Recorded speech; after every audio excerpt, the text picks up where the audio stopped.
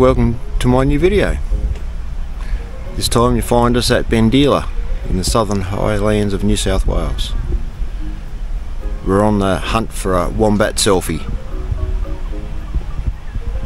Uh, let's hope we can uh, get a selfie of the wombat, that's uh, the aim of this trip. Um, yeah, we're at a lovely campground here. We'll give you a bit of a look around later on. But our trip didn't start here. Uh, started in our hometown of Broken Hill. Hitched the van up and headed off. Travelled through Wilcannia and down to Ivanhoe. Then we hit some dirt tracks en route to Rankin Springs where we're going to stay the night. Found a nice little free camp next to the hotel in the park. Spent the night there. Then the next morning we were heading off to Wombeyan Caves. We stopped off at Weethalle Silo Art. Quite spectacular, depicting the wheat and the sheep in the region and hard workers. We then called into West Wyalong,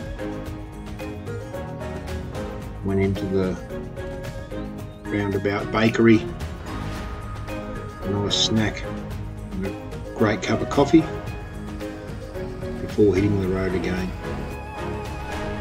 We travelled through Crookwell and Taralga before descending into the Wombeyan Caves Valley. The road is very steep and only one way in some sections.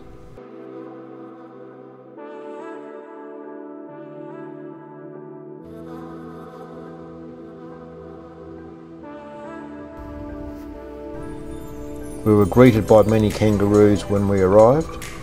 They kept an eye on us while we set up camp. After setting up camp, we wandered around checking out the campground. The campground has many powered and unpowered sites, with a large camp kitchen and new amenities block.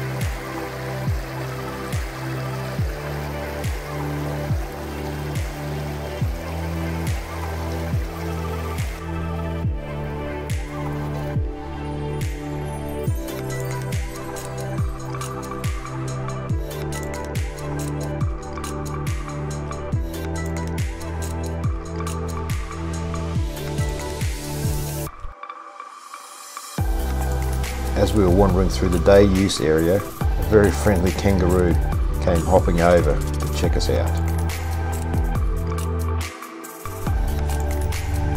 Hello? You're very inquisitive, aren't you? Hello?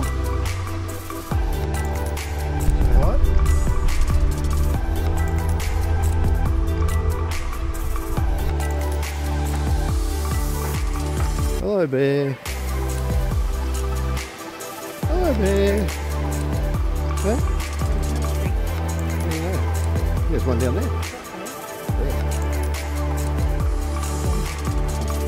That evening we walked down and checked out the Victoria Arch Cave under lights. The lights come on at 7pm every night.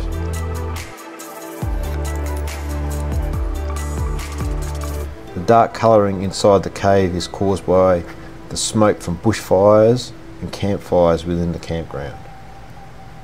But it does look great under lights and the camera doesn't do it justice. The next morning we woke to a bush style alarm clock from the sounds of the many birds living in the area. After a big breakfast we walked to the top of the hill above the Victoria Arch Cave. This area is the meeting point for the guided tours. You also access the self-guided caves from this point. There are something like 30 caves in the area, but only four or five are open to the public currently. The first cave we set off to explore was the Fig Tree Cave, which is widely regarded as one of New South Wales' best self-guided cave experiences. Bit of ground support there for all the miners. I'd have to agree. Filled with stalactites, stalagmites, cave coral and other beautiful cave decorations, exploring the cave takes 45 minutes to an hour and finishes when you reach the broken stalactite platform.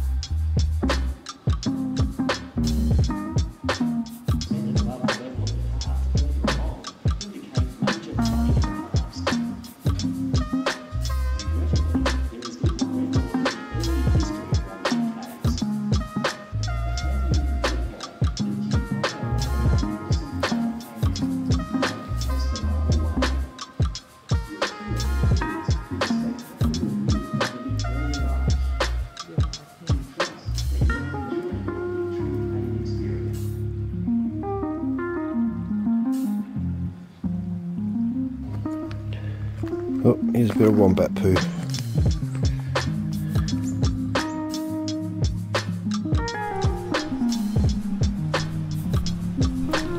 Not content, we descended the limestone gorge track. We discovered another cave along the way, the Tinted Cave. This cave is self-guided and leads you out to the Tinted Cave balcony that overlooks the limestone gorge. Well worth the trek.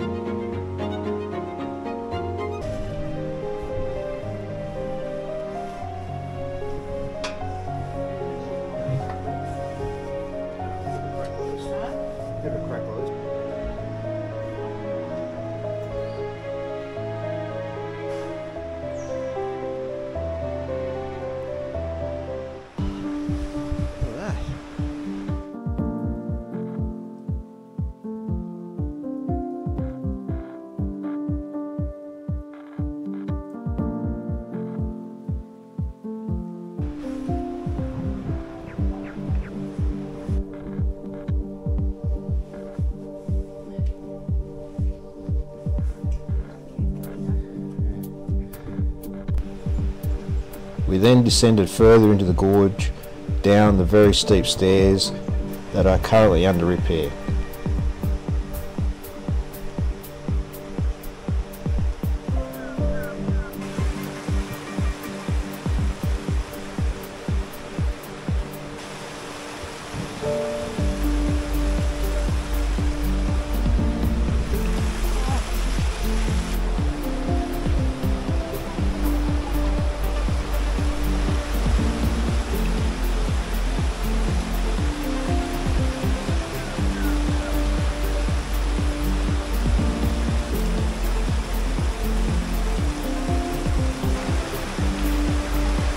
An epic view of the limestone gorge lined with Wombeyan marble.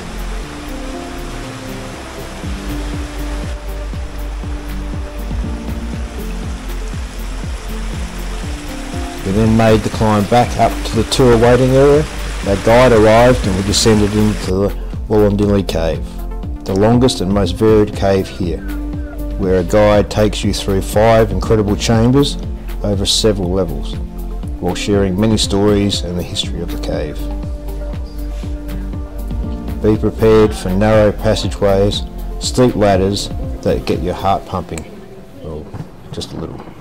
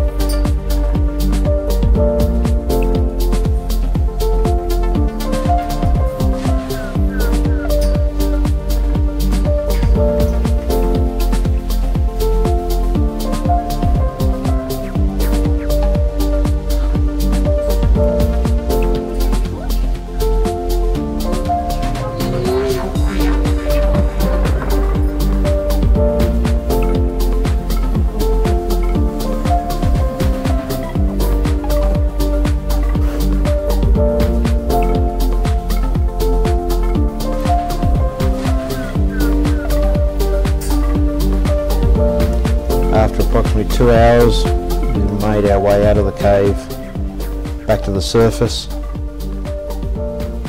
and we walked back to our camp, unloaded our push bikes, and went for a, a ride around many tracks around the area that you can get on your bike and explore.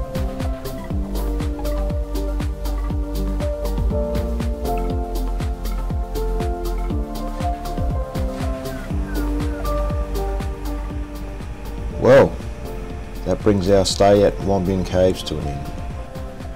Bit sad to be leaving.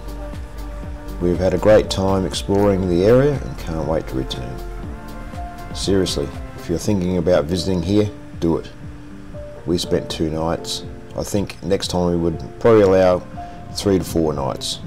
There is still so much to explore.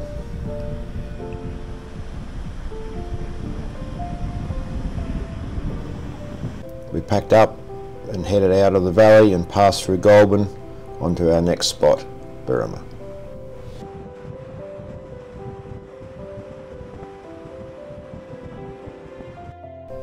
We pulled into the Berrima River Reserve, located next to the Wingecarribee River. The campgrounds are five minutes walk from the historic Berrima village. Maximum stay here is two nights and uh, it's $18 per night. With limited budget camps in the area, this was a great choice. You need to book well in advance as it is very popular. Berrima is a historic village in the southern highlands of New South Wales. The village, once a major town, is located on the old Hume Highway between Sydney and Canberra. It is close to three major towns of the southern highlands, Mittagong, Bowral and Moss That afternoon we walked into Berrima village and checked out many of the historic buildings and shops.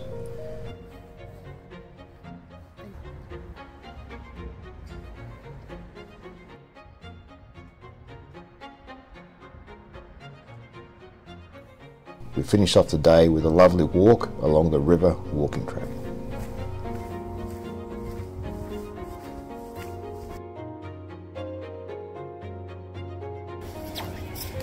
There's Lambie's well. Underneath this rock escarpment. This crazy tree right on the edge of that cliff there.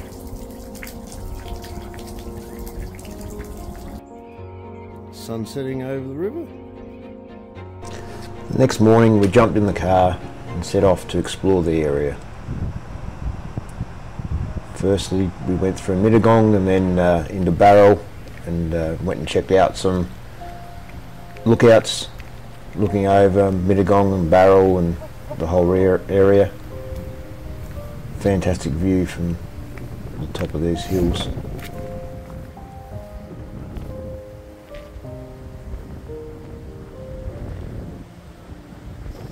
After checking out the views, we nipped back into Bowral, went to Donald Bradman Oval,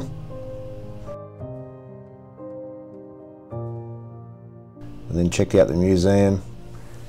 Couldn't resist having a few photos with uh, Sir Don himself, the statue. Bowral is believed to be the birthplace of Mary Poppins. There's a statue not far from the Donald Bradman Museum of Mary Poppins in the park. We then checked out the vast shopping centre in Bowral, had a beautiful lunch at a cafe, and then went exploring Dirty Jane's. Dirty Jane's of Bowral is a huge warehouse housing over 75 independent dealers offering a vast range of vintage and antique pieces, including furniture, hardwares, artwork, clothing, jewellery, kitchenware, glassware, china, collectibles and much more. It's well worth checking out. We then switched it up a bit we travelled out to the uh, Boxvale tramway uh, walking track which was going to lead us to the 40 foot falls. We briefly stopped at the Upper Valley Welby Reservoir Check out the water there running over the wall. The walk to the 40 foot falls is approximately 7 kilometres return. Mainly flat except for the last section which is quite steep downhill or uphill on the return. Made our way through a cutting where the old tramway used to go.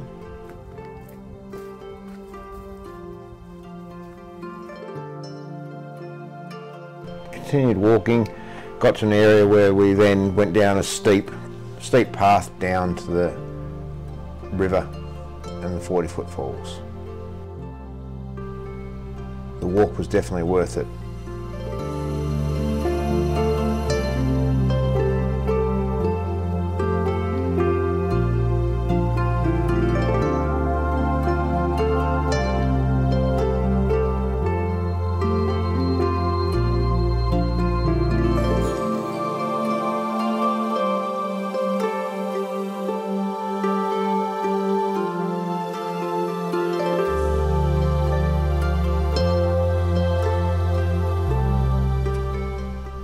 We finished exploring the area, it was time to make our way out.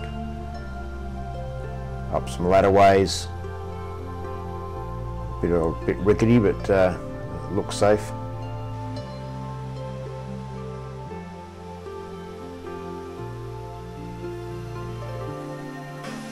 Along the narrow path, briefly stopping off behind the falls and having a look there.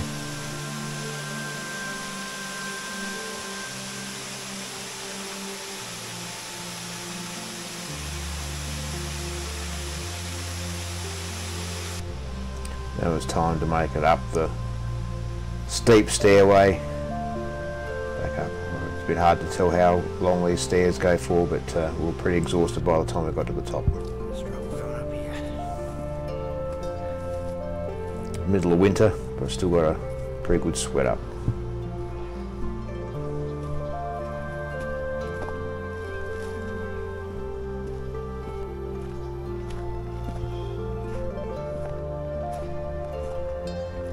Eventually made it back to the car park.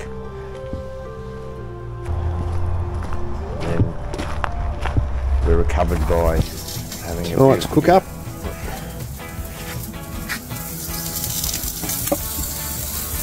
Pork ribs. We've got some special sauce to go on there. We got today at the store. Rufus Teague made some sauce. Whiskey and maple. Mmm, sounds delicious. Yeah, whack a bit of that on there once it's uh, getting close to finished and see how she goes. It should juice it right up.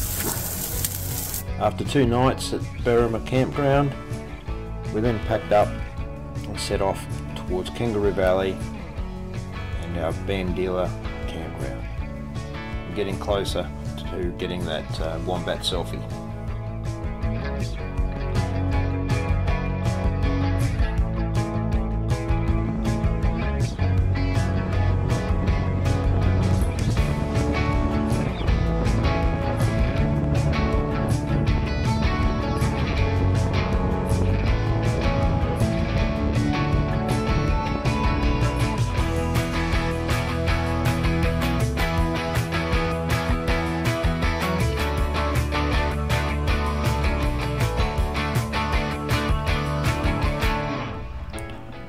Help pulling up and getting a photo with the wombat sign.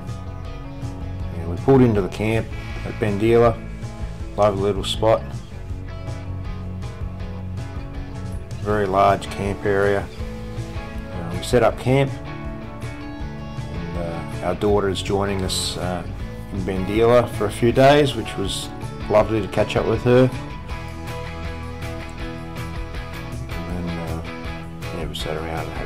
A while and then, uh, took off and uh, done a bit more exploring of the area.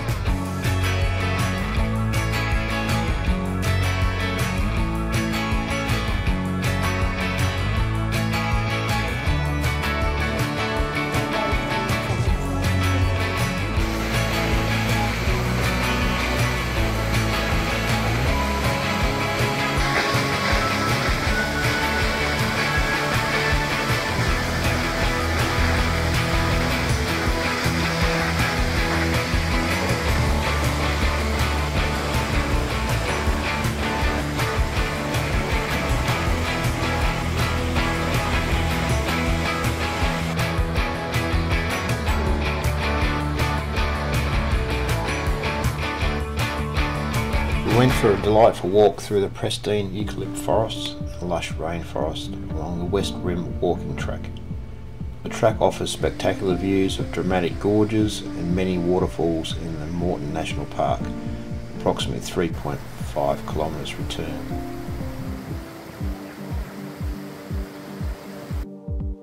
We spent too much time checking out the Fitzroy Falls area and arrived back at Bendeela a little late. The sun was going down, which made it hard to get some good photos, but the wombats were everywhere when we got back to camp. So I tried to move in to get that selfie that I've been looking for for the whole trip.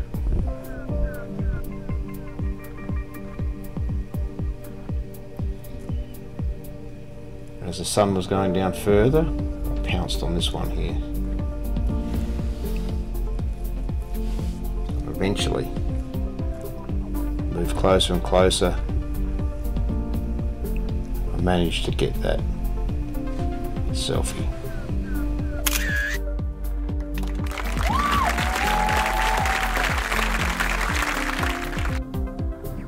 This is our camp here at uh, Bendeela. Nice little spot. We've just woken this morning to pretty heavy fog. This is the campground.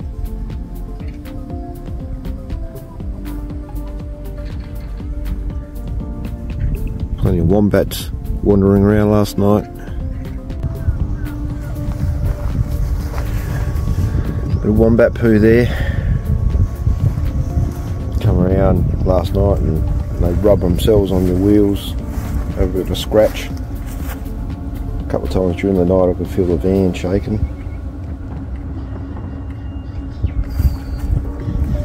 A good old time they eh? do.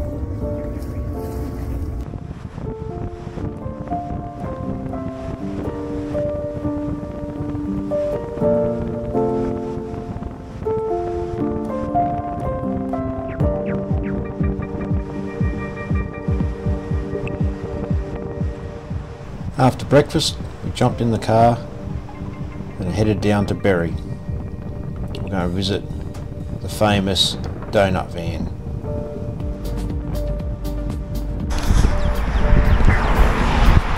Just turned up in Berry at the famous donut van. Can't wait to get some. Excited, ladies?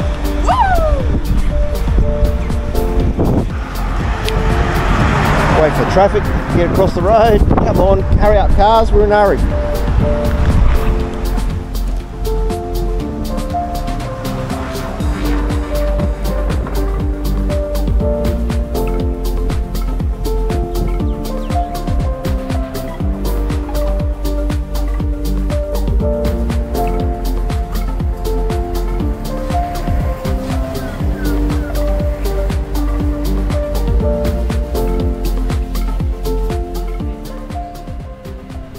Tell you what, the donuts didn't disappoint.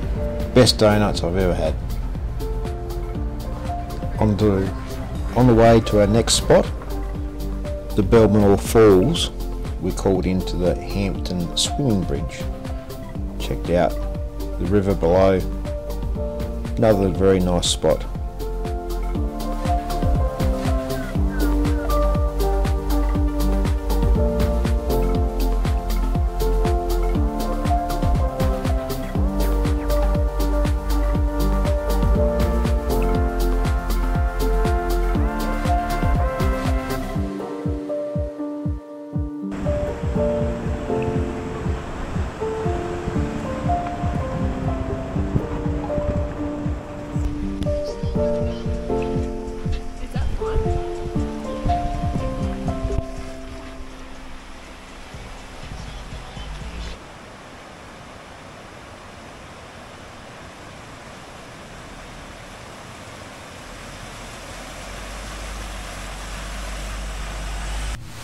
This out. Falls must be one of the most spectacular waterfalls in the southern Highlands. This two-tiered waterfall cascades down the mountainside with such force you can really feel the energy.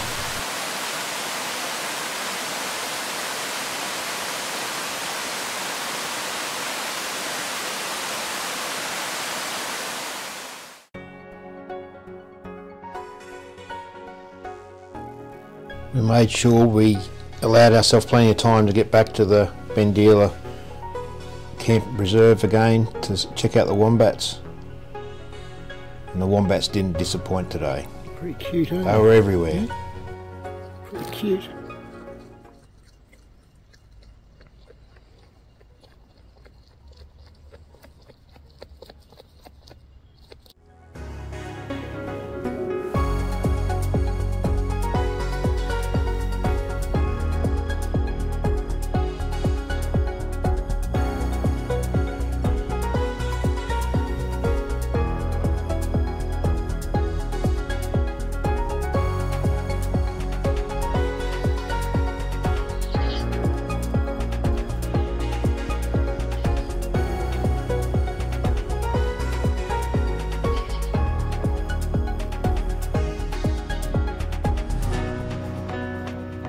We were so excited. There was selfies getting taken left, right, and centre. And the wombats were just so friendly and so calm.